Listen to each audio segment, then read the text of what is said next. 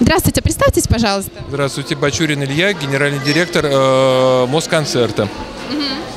А вы часто ходите на премьеры фильмов? В последнее время совсем не часто, потому что и премьер немного, и немногие из них вызывают такое желание. Почему сегодня пришли на показ а, фильма Гая Ричи? Потому что я Гая Ричи люблю, это один из режиссеров, которые не прогибаются под э, современный мир, под э, толерантную, всех устраивающую реальность. Он по-прежнему э, делает, я надеюсь искренне, что он сегодняшним фильмом это подтвердит, делает такое пацанское, настоящее английское кино. Боевики настоящие английские. Вот я э, этот жанр э, только в его, конечно, э, как бы исполнении воспринимаю э, позитивно. В целом небольшой любитель, если честно. А может, наши какие-то фильмы тоже можете сравнить с, с- этим же жа- жанром? Конечно, да. Вот Чебурашка, например, самый э, просто боевик-блокбастер. Всех поборол э, в кассе. Лучший способ э, доказать свое преимущество. Не кулаки, а касса. Так что э, Чебурашка, победитель э, Гая Ричи, меня не не то что устраивает, очень радует просто. То есть наш жанр все-таки более добрый, русский. Э, Наше кино э, более доброе, да, но смотрите, я бы вот э, если э, я бы не стал несерьезно говорить на эту тему, потому что здесь не получается посмеяться. Сейчас большое количество западного кино ушло, а российского не хватает.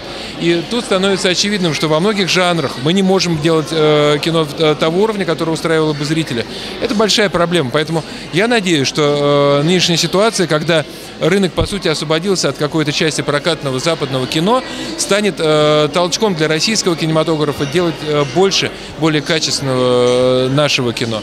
Вот э, это надежда на лучшее будущее, я бы скорее так сформулировал ощущение момента, а не гордость за то, что мы сейчас всех победили. Да нет, пока не, не победили особо, надо еще работать и работать, просто пахать и пахать. Вот.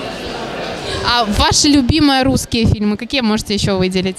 Я люблю советский кинематограф из сегодняшнего кинематографа. Ну вот знаете, сейчас отдельно что-то называть сложно, но э, мне нравится кино, которое стали снимать для платформ, потому что все-таки заказ э, телека на э, кино давал очень э, жесткие рамки, которые ограничивали творцов.